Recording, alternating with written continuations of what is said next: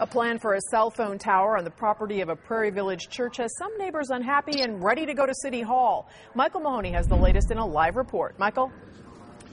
Kelly, this battle over placing a cell phone site here at the corner of 67th and Roe has been going on for more than a year. The T-Mobile cell phone company wants to put it here on the property of the Faith Lutheran Church, and the church agrees with that. But some area residents uh, are resisting this. In fact, they have fought it successfully twice before. Signs in the neighborhood say it all.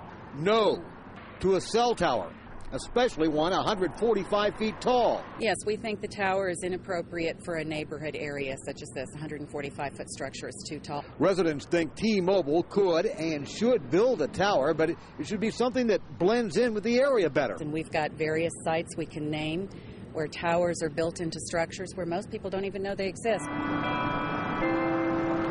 In fact, they cite this example there are two cell phone towers in the steeple of a nearby church. And residents say they're okay with a cell relay system on a water tower that is near the church. In fact, they're even okay with it if they tear this water tower down. Even if that structure would come down, it's a site where they have had a, a tall utility structure there for a long time. Now, T-Mobile did not respond to our request to comment on this story, but tonight some opponents of this cell phone tower in this neighborhood around 67th and Roe will be at the Prairie Village planning meeting where they'll express their opposition to that cell phone tower site, especially a tower that is 145 feet tall. We're live in Prairie Village. Back to you. Thank you, Michael.